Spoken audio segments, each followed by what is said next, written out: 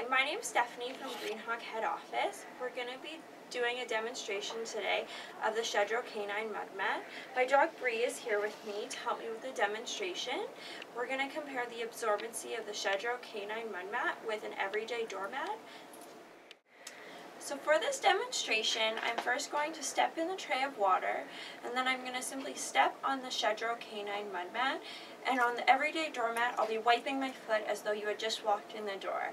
Then I'm going to step on two white pieces of paper and you'll be able to tell the absorbency of both of the Shedrow Canine Mud Mat and the Everyday Doormat.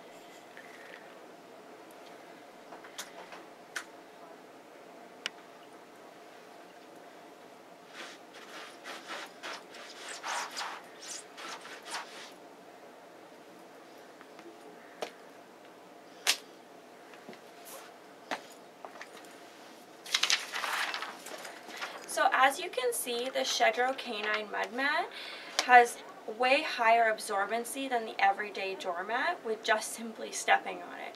You can imagine the effect that this would have on your dog's paws when they come in after rolling in the mud all day. So now I'm going to do the same demonstration with my dog Bree. We're going to first walk her through the tray of water and then walk her across one mat and the piece of paper and then walk her across the Shedrow Canine Dog Mat and the piece of paper and you'll be able to tell the difference on her paws.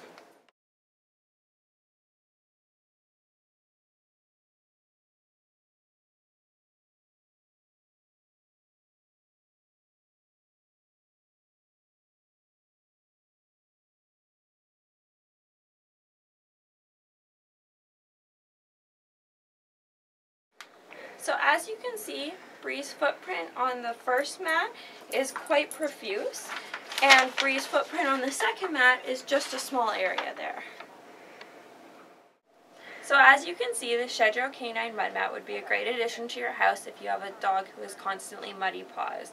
It's also really great for under your dog's crate, in the back of your car, as a bath mat, or under their feed bowls. You can pick yours up online through mail order or in store today.